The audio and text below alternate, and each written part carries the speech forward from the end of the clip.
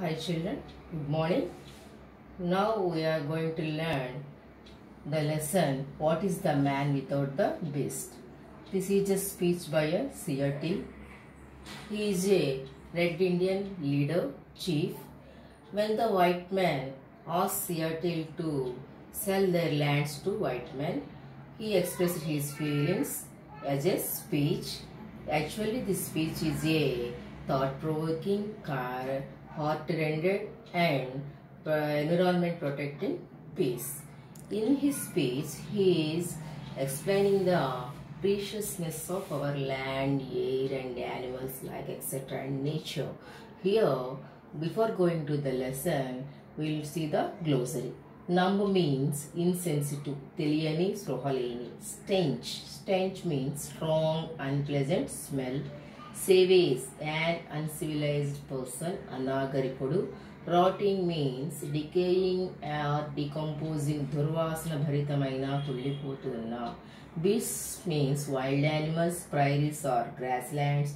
The smoking iron horse, this is a phrase that means the train. This phrase is used by an innocent, uncivilized person with kind heart and wise mind precious means valuable okay we'll go to the passage precious, valuable. The air is precious to the red man, for all things share the same breath. The beast, the tree, the man, they all share the same breath. Here Seattle is saying that all the things in the nature, of man, animals, plants, trees, man, all are uh, breathing the same air.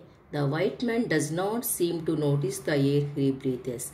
We give importance to the air because without air nobody can live. But the white man does not seem to notice the value of the air. Like a man dying for many days he is numb to the stench.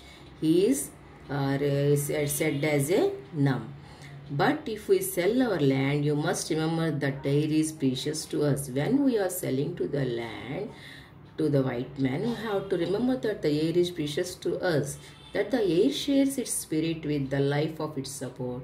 The wind that gave our grandfather his first breath also receives the last sigh. This is the wind we are breathing. This wind is also breathed by the our forefathers and they uh, and their last sigh also this wind only. And if we sell our land, you must keep it as a pot and sack as a place where even white men can go to taste the wine wind that is sweetened by the meadow's flowers. Here, he is saying about the preciousness of the air we are breathing. So we will consider your offer to buy our land. If we decide to accept, I will make one condition. The white man must treat the beasts of this land as his brothers. Here the red Indians treat the wild animals and plants as brothers and sisters. Eve is ready to buy uh, by the white um, he is ready to sell the land to the white man on one condition what is that condition we will see the white man also must treat the beasts and the land as his brothers and sisters I am savage and do not understand any other way. I have seen thousands of rotting buffaloes on the prairies. Savage means uncivilized person. He is honestly saying that Seattle, he is a savage man. But he is saying that he is seeing thousands of buffaloes on the prairies dead, left by the white man who shot them from passing train. The that buffaloes are died because the white man shooted them from the passing train. Here this is uh, we know that by this the white man was not kind hearted they are growing. It is fun to them shoot the buffaloes. I am the savage and do not understand how the smoking iron horse can be made more important than the buffalo that you kill only to stay alive. Here smoking the smoking horse means the train. When they are shooting the buffaloes uh, from passing train, he is saying that the train is as the smoking iron horse. The white man is giving importance to the train than the buffaloes. So he is saying that they are not kind-hearted. What is man without the beast?